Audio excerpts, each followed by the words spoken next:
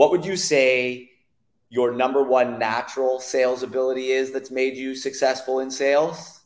And then the second part of that is what is a learned skill that you feel has made you a better salesperson since you first got into sales?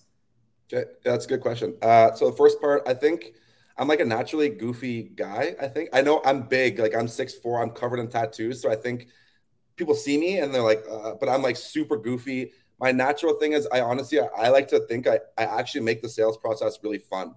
Uh, I'm never too serious. I'll give you the I know my shit and I I show them that that I know what I'm talking about. But I genuinely make the process fun because I think it should be fun. And and when I was a new agent, I would see I'm just really good at communication. I, I I'm a Gemini. I love meeting people. I love talking.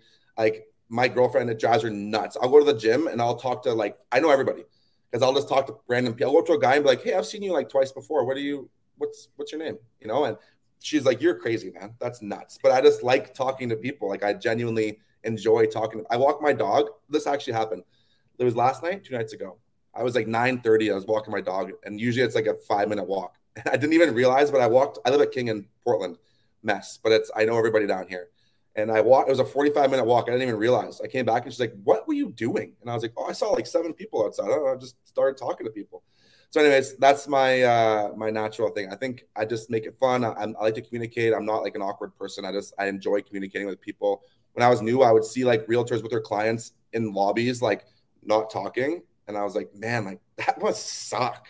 Like that would be so annoying. So like, awkward. Oh, like, and then you gotta like work, go and see them again, you know, like I already know it's not like some people love it. Some people are just like, I just want to buy something, you know, like let's just get this. Like if I can make it fun, I make it fun. And the second thing is uh, something I've learned is la- the proper language to like sales language to actually properly close people or push them in the right direction. That was actually probably the biggest issue in my business up until honestly this year. Uh, I've taken a lot of courses uh, and a lot of like boot camps and masterminds and read a lot of books on the art of sales and the art of communication because you're not actually being. I always thought like if I was going to push you to, to, to close or be, put, I never wanted to be pushy because I hate being pushy. But there's ways to to guide people in the right direction and and help them make the right decision if you use the proper language. Because I find I found I was having all these listing presentations. I was going in because of my bubbly personality and I was goofy and funny, but I knew my shit and I have a good, uh, you know, brand awareness. I'd go to these listing presentations and at the end, I'd give them this amazing pitch that I've practiced so many times. And I'd be like, all right, well, call me. And they're like, okay. And I'm like, all right. And then I'd leave and I was like, why is no one calling me? Like, I don't understand. I'm calling these listeners. There's no one calling me. And it's because, you know, like people need to be told what's going to happen next. And if you don't tell them what's going to happen next, they're just going to sit and ponder, and maybe someone else comes in after and does tell them what's going to happen next. So that's something that's learned for me is the proper sales language, and I think it's actually super important, especially if you don't come from a sales background, which I didn't. So, so for our listeners to give them that piece of advice, what what book or what course or what program was that that you you know yeah. got this you know that made that change in your business just in the last year? Yeah, uh, his name's Dale Archdekin. Archdekin is a script. Yeah. His name. Uh, yeah, he's. Uh, I met him at Follow Up Boss events. Uh, he has like mini boot camps every once in a while where he'll just have like a mastermind of people, and you're just live scripting. So he'll he'll pick out people you don't even have a choice. Like sometimes you get picked on, sometimes you don't. And he'll be like, hey, okay, uh, hey Dave, you know, thanks for the call today, but I'm gonna wait until fall. And then it's like, what's your go? And you're in front of like 30 people on Zoom, and you just have to kind of make it. He'll like literally be like, "Nope, don't say that. Say this. Don't say that. That's dumb. Say this." And they're American, and I find the Americans don't mess around. Like they're they're more like you know with their stuff. Uh, that that his course is amazing. I can I think it's called Smart Scripting. Is his business. Um, yep. I could be wrong. Is it right? I think that's right. Anyways, yeah. and then uh, exactly what to say by Phil Jones.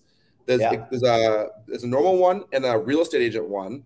Uh, they're both kind of similar, but super easy to read, and they're like uh, it's almost like a playbook. So the the real estate one ha- at the back has um, like cue cards almost, where it could be like, okay, you're calling a, a FSBO or you're calling uh, whatever.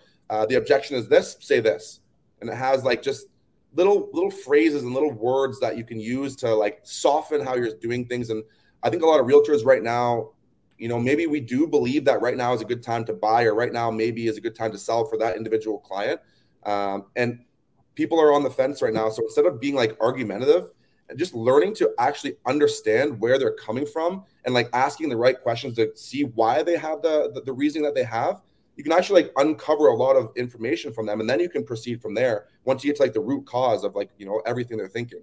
So instead of arguing, yeah. like, well, if the rates are high, but it's not gonna be forever, prices are low, like well, you're crazy. You know what I mean? Like, don't argue with people, just find out why they think that, where they got that information, you know, like peel off the layers of the onion and get to the root of it. And then you can kind of, you know, help them from there. Check out our YouTube or Spotify channel and don't forget to subscribe.